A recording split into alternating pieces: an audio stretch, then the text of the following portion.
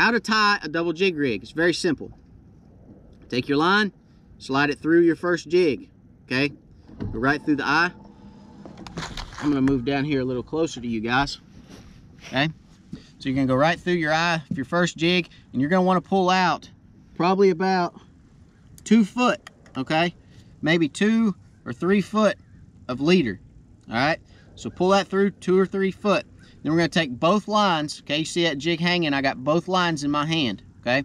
What I wanna do, I'm gonna tie a loop knot. So I'm gonna take it, one, two, I'm gonna go around my fingers twice, and then I'm actually going to put that jig right through that loop, okay? And then I'm just gonna cinch it down tight. All right, so that first jig's tied on there with the loop knot.